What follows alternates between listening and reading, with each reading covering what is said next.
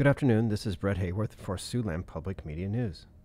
As the construction season winds down in Siouxland, a substantial segment of a new recreation trail is virtually complete. The Plywood Trail is named for the two counties it connects, Plymouth and Woodbury, and will connect existing separate trails that now end on the northeast side of Sioux City and the southwest side of Le Mars.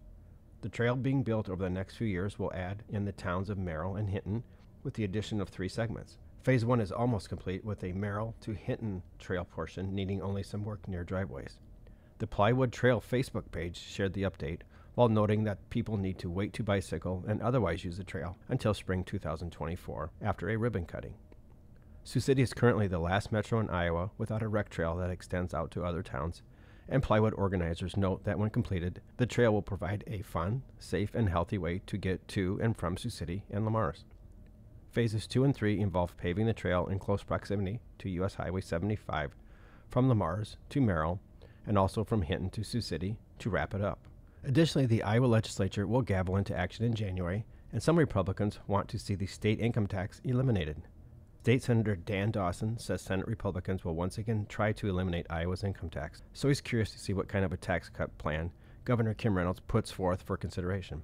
Dawson is chairman of the Senate Tax Writing Committee.